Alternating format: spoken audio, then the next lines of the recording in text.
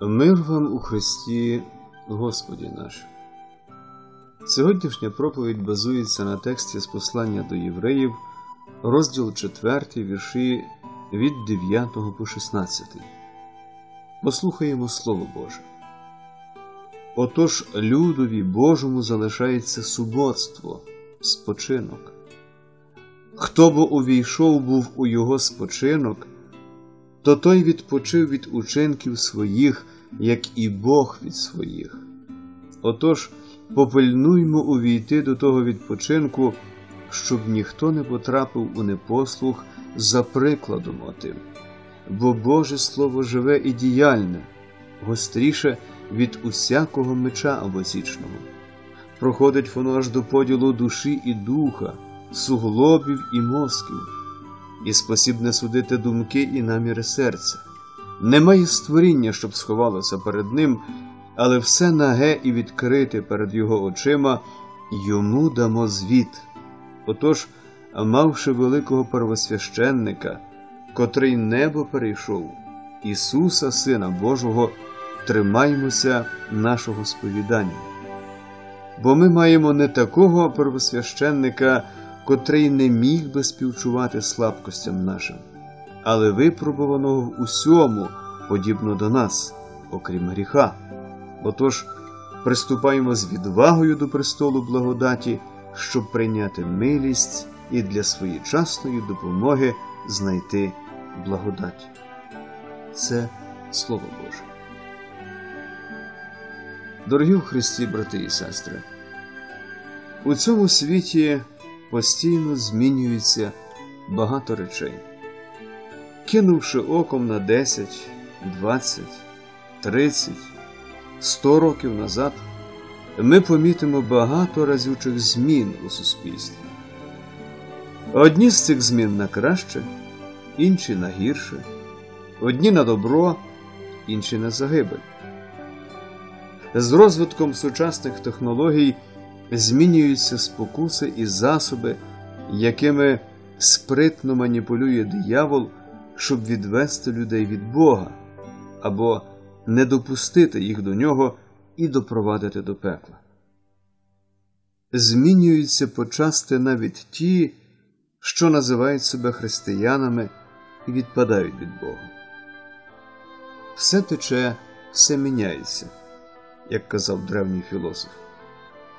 І яке щастя, що, незважаючи на ніщо, Боже Слово залишається завжди незмінним і ніколи не перестає бути силою Божою на спасіння, як про це каже апостол Павло у посланні до римлян, розділ 1, вірш 16.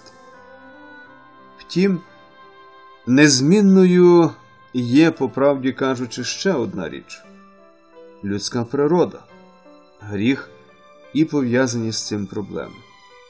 Бо скільки б не змінювалося суспільство, і як би далеко не сягнув науково-технічний прогрес, людська природа, проблеми гріха і спасіння залишаються завжди ті ж самі. У книзі Еклезіаста читаємо, що було, воно і буде, і що робилося, буде робитися. Немає нічого нового під сонцем. Буває таке, що про нього кажуть дивись, це нове, але воно вже було від віків, що були перед нами. Книга Еклезіаста, розділ 1, вірші 9 і 10. Сьогодні ми маємо новітні медичні устаткування, котрі дають можливість побачити будь-який орган людського тіла в найменших деталях і виявити хворобу. Однак людство ніколи не буде здатне проникнути в саму серцевину людини так глибоко, щоб судити думки і наміри серця, а Слово Божому, як говорить сьогоднішній текст, це під силу. Перед ним ніщо й ніколи не сховається. Це ми, як люди, можемо приховувати одне від одного думки і наміри. Але як помиляються ті, хто думає, що можна приховати щонебудь від всезнаючого Бога? Святе Писання каже, ще слова немає на моїм язиці, а вже, Господи, знаєш ти все. Псалом 138, вірш 4.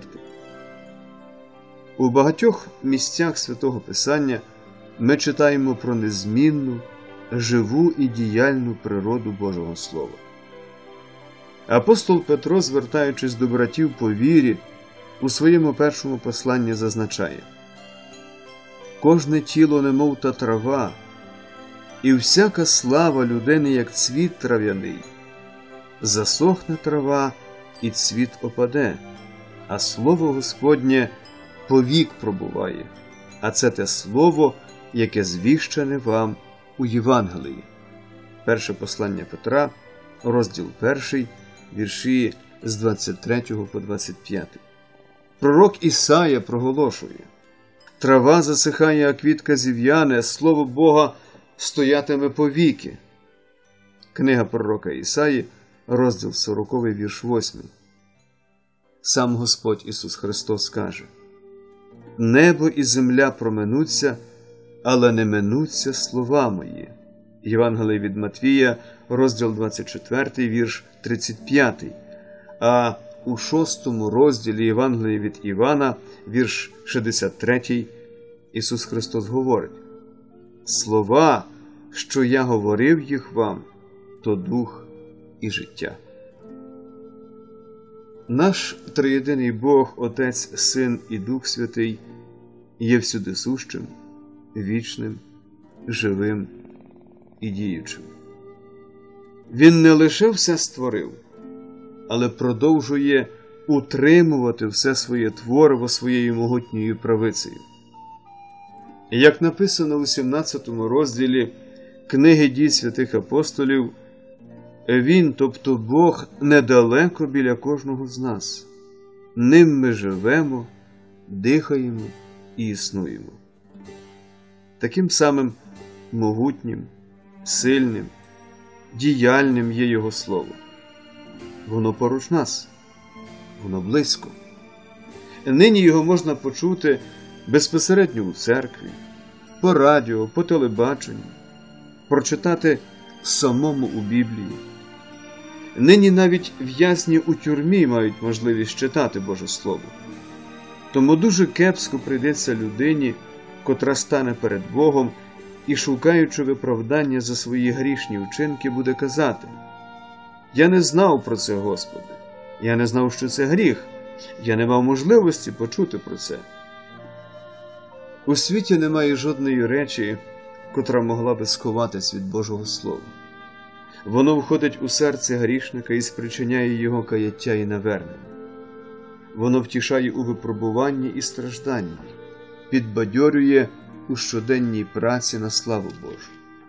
Воно одне є святе, що може зробити мудрим на спасіння вірою в Христа Ісуса, усе писання Богом натхненне і корисне до навчання, до докору, до направи, до виховання у праведності, щоби Божа людина була досконала, до всякого доброго діла готова.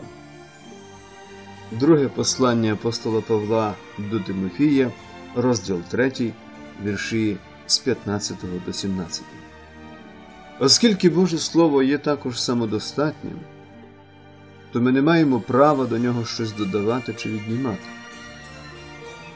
У книзі об'явлення написано Коли хто до цього додасть що, то накладе на нього Бог кари, що написані в книзі оцій.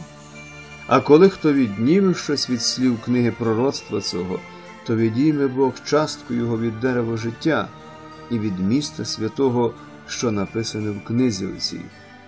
Книга об'явлення, розділ 22, вірші 18 і 19. Риси Божого Слова, а саме живе, діяльне, незмінне, здатне судити думки і наміри серця, натхненне, таке, що робить мудрим на спасіння вірою, дають нам підбадьорення щодо покладання на Боже Слово і проповідування Його світові. А проповідування Євангелія є не лише питанням бажання віруючих, а обов'язком, в основі якого лежить наказ Ісуса Христа, про який ми читаємо у Євангелії від Матвія, розділ 28, вірш 19. Господь каже: Тож ідіть і навчіть всі народи, хрестячи їх в ім'я Отця і Сина, і Святого Духа. Автор послання до євреїв нагадує нам також про те, що Божому людові залишається суботство, спочинок. Цим спочинком є Боже прощення наших гріхів через Ісуса Христа, Євангеліє, яке дарує нам втіху і правдивий мир. Врешті-решт, коли ми, як віруючі, потрапимо на небеса, то будемо перебувати у блаженному місці Божого спочинку, приготовленому для нас Господом. Слова про правдиве суботство спонукають нас також належно шанувати Божу заповідь про святий день, коли ми повинні прийти до церкви, слухати Слово Боже, покаятись у гріхах, прийняти тіло і кров Спасителя у святому причасті. Ми, як віруючі, не боїмося сповідатися Богові у гріхах, приступати з відвагою до престолу благодаті, бо там ми приймаємо милість і знаходимо благодать. Там ми зустрічаємо великого первосвященника, який небо перейшов, Ісуса Сина Божого, здатного співчувати усім нашим слабкостям. Він сидить праворуч Отця і заступається за нас. Ніхто краще від Нього не розуміється на наших проблемах і негараздах. І це велика втіха і радість для нас, що саме такого правосвященника ми маємо в особі Ісуса Христа. Дорогі брати і сестри, колись грецький філософ Сократ так навчав своїх учнів. Благайте небеса, може хтось зійде з неба і навчить нас таємнить життя. Син Божий, а наш єдиний Господь і Спаситель Ісус Христос понад дві тисячі літ тому зійшов з неба, стався людиною і приніс світові Євангеліє Спасіння. Сьогодні ми вже не потребуємо сумувати за таємницею, про яку говорив Сократ, бо Христос посеред нас, у живих і діяльник слові і таїнстві, які дарують нам прощення гріхів, вічне життя і спасіння. Тримайтеся за Господа Ісуса Христа, горніться до Нього, нашого Викупителя перебувайте у Його безцінних слові, тілі і крові у Господній вечері повсякчас. Шукайте щоразу нагоди більше пізнавати Боже Слово, не нехтуйте Його вивченню, активно поширюйте Христове Євангеліє Спасіння, слухаючи і вивчаючи Боже Слово, ми знову і знову дізнаємося про те, що Бог зробив для нас через свого Сина Ісуса Христа, щоб ми отримали спасіння, прощення гріхів і вічне життя. Підтримуйте служіння Євангелія своїми пожертвами і дарами, які ви отримали від Бога. Пам'ятайте, Господь щедро благословляє тих, хто жертвує для нього не з того, що залишилося, а з того, що він має плануючи свої видатки на щодень, на щотиждень, щомісяць, не забувайте відкладати для Господа і будете благословені. Слово Христове нехай перебуває у вас рясно, у кожній премудрості. Навчайте і наставляйте самих себе, вдячно співайте у ваших серцях Господу псалми, гімни, духовні пісні. І все, що тільки робите словом чи ділом, робіть ім'я Господа Ісуса, дякуючи через Нього Богові і Отцеві, і мир Божий, який вищий від усякого розуму, нехай береже ваші серця і ваші думки у Христі Ісусі. Амінь.